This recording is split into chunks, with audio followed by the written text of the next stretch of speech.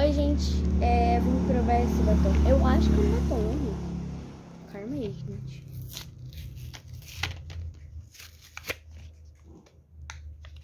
Não, Rica, não tô conseguindo abrir.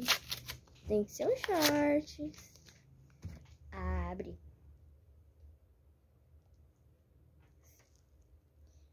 A gente...